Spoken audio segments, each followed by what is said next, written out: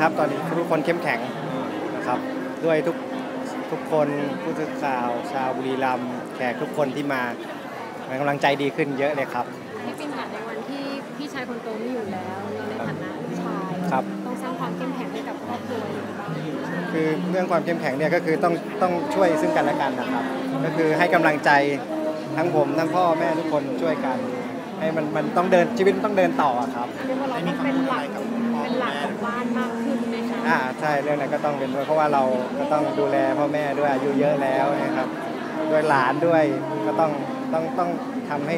ให้เขาไม่ขาดนะครับ ได้มีคำพูดหรือว่าบอกอะไรกับคุณพ่อคุณแม่แล้วก็พี่โบครับคือส่วนเรื่องพี่โบเนี่ยก็คือโบพี่โบกับมารีเนี่ยคือตัวแทนของพี่ปอ คือสหวงศ์ครับยังไงเขาคือเป็นพี่ผมอยู่แล้ว เป็นครอบครัวเดียวกันครับหลังจากนี้มันจะมีพี่ปอก็จะมีอะไร ทำก่อนหน้านี้มาเยอะถึงตัวพี่ปีเองจะสึกต่อไหมคะอย่างงานในวงการบันเทิงหรือว่ามูลอ๋อนิเรื่ธิองต่างเรื่องนี้ก็เรื่องการบันเทิงก็ถ้ามีโอกาสก็โอเคครับได้ครับ แต่ว่าเรื่องเจตนารมณ์พี่ปอก็คือ เรื่องพ่อแม่มากกว่าคือจะจะดูแลเขาให้ให้ดีที่สุดนะครับแทนพี่ปอครับวันอาทิตย์นี้มีแบบว่าข่าวว่าพระเจ้าอยู่หัวจะพระราชทานเพลิงศพที่พอทราบบ้างหรือยังยังไม่ทราบรายละเอียดเลยครับ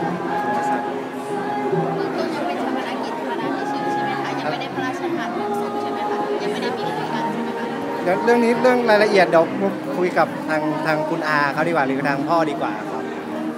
คือตอนนี้ผมผมใช้พวกแรงอย่างเดียวเลยรายละเอียดไม่ค่อยรู้เรื่องอะไรครับๆพี่ปินอย่างที่ครับผ่านมาพี่ปอเป็นแบบอย่างในทางที่ดีให้กับเราด้านไหนยังไงบ้าง ก็จะเป็นเรื่องความกตัญญูแล้วก็เรื่องการทำงานนะครับ เพราะว่าเขาจะเป็นเวลาทำงานเขาจะตั้งใจตั้งใจมาก แล้วก็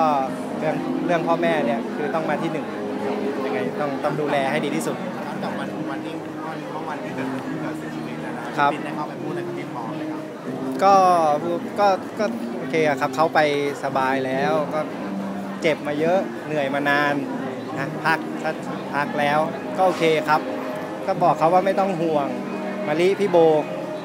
พวกผมดูแลเองได้ไม่มีปัญหาทุกคนได้เข้าไปในก่อนวินาทีสุดท้ายที่พี่พรจะไปใช่ไหมคะได้ยืน อยู่ด้วยกัอ่านที่นี่ใช่ใช่ไหมใช่คะใช่ทั้งครอบครัวเลยใช่ครับถึงตอนนี้คิดถึงแค่ไหน คือเขาอยู่ในใจตลอดอยู่แล้วอะครับ ยังไงก็ยังอยู่ในใจเราไม่หายไปไหนแน่ใช่ครับ ขอบคุณค่ะครับขอบคุณพี่พี่อิขนอบคุณเสิร์ตนิดคนึรับงนะครับพี่ค่ะ